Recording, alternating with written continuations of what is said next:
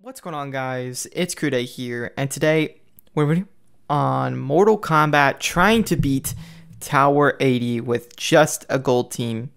It's pretty difficult, not gonna lie, unless you're gonna be using tower equipment. And a lot of people hate tower equipment because it is difficult for beginners to get. But what a lot of people don't realize is that without tower equipment, how the heck are you going to get damage boosts? How are you going to do the damage required to beat a boss battles in one attempt? No, not 50, one attempt, which is why this is so difficult. All right, so talents, as you can see here, this is what I applied um, I'm just going to show you my presets. I'm not going to explain each individual one, um, but I will say one thing, Lion's Dance, I should have went with that instead, but I'm not going to fix that whole thing just for one. And then also Shinnok's Teaching, don't get that. Uh, but oops, hold on. There we go. Support. I also have Spec Ops ta Tactics, and then that is the um, last thing I applied when it comes to talents.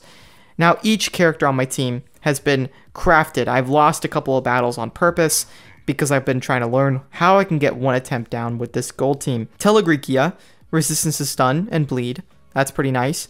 Uh, you also get 600% max health boost. And then also this gives you a bunch of um, damage and health boost, which is good for Johnny Cage, which needs it. Okay, and then uh, because she gives a 25% unblockable basic attack, we don't need a block breaker on Johnny Cage. I just realized um, Kombat Cup Cassie Cage does not work against bosses, so it's not worth using her at all. Oh, here we go. 50% damage boost against enemies affected by stun. That is perfect for us because you know what Johnny Cage applies the most.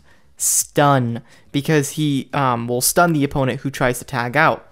That's genius. Then we have Bloodmaster's Bloody Finka for some extra damage for Cassie Cage Convert Ops. And then Cold War Sonya Blade has Bayonet just for some damage boosts. And then also Body of Steel. Also, we don't need a block breaker on her as well. What would work well for Cassie Cage? It's really difficult to find an attacking piece that works well for um, generally anything that's not a block breaker. Here we go. Basic attack damage boost and special attack 2 has reduced. So there we go. This should work well for us. We want to apply Cripple with Cassie on something like Kold War Skarlet. Uh, what you don't want is for them to ever get regen, which is why you need to power drain on Kold War Skarlet. You need to. If you don't power drain on Kold War Skarlet, it's done. The game's over. We're doing quite a bit of damage right now. Save, save SP1. Save it so that if any other opponent tags in, you can immediately power drain them because that will happen. See? But, oh, well, didn't work in time. If you're attacking while they transfer in, it's not going to be good. And you have to really watch out for Kold War Skarlet because she can get SP2 when she tags in and immediately she'll regen. It's really bad. Um, but we do a lot of damage with Kombat Cup Johnny Cage. We need to get back to that special one as soon as possible. Okay, perfect, perfect, perfect. We need to immediately apply this so she can't use SP2. Perfect. That is perfect. If she doesn't get SP2, we have a chance of winning this first try. Because if she gets regen, that's game over. So don't even let her get anywhere near special 2. Um, perfect. We get a damage boost against characters who are stunned. We can kill her off, maybe.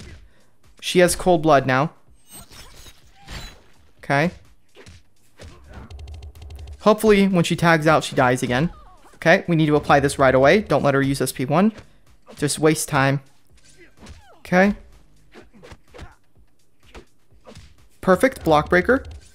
Should be able to do quite a bit of damage. Not enough, though. Not enough to call it good yet. There we go. Perfect. We got it. Nope, that's not good. Okay. Well, we should be able to do quite a bit of damage with Cassie Cage here. Cripple her, so she can't do anything. And tag in uh, Johnny Cage. And then boom, get the win. First try.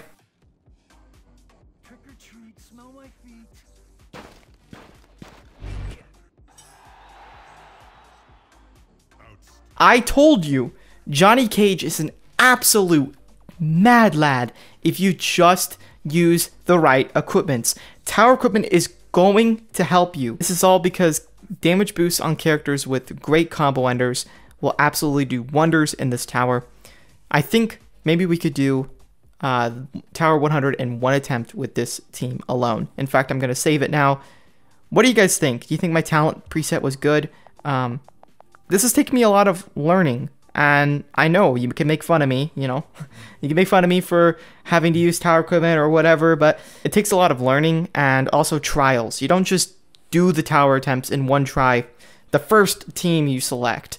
I have gone through so many teams that just absolutely failed and I'm not gonna sit here and lie about it. Like I didn't just get this in one try on my on my first uh, attempt to find the right team to use.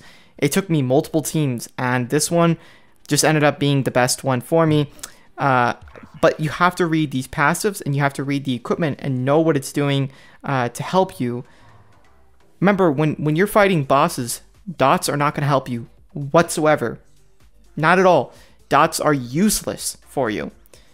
And that's why battles like regeneration and whatnot are okay when you um, are not fighting bosses. You can use dots, poison, uh, princess cards, stuff like that, but that's not going to work if you're fighting bosses. You just have to choose something that gives you high damage boosts and lets you finish the game as quickly as possible to try to get that attempt down to one. But if you can't, two attempts is okay if you have a maxed gold team. Now remember, this is a fatal tower. Gold team, you know, here's the thing about about gold teams. Uh, also, you want to go for packs that have um, a challenge character in them, but also costs like 400 souls. Like where where is this? There we go. Gold challenge character, 90%. So 90% chance for a gold challenge character instead of having to spend 300 for just a confirmed challenge character is not worth it. But you do have a chance for Wrathhammer. I didn't realize that actually. Um, it's still probably not worth it to be honest. Anyways, that's me for this video. Thank you guys so much for watching. And yeah, peace out.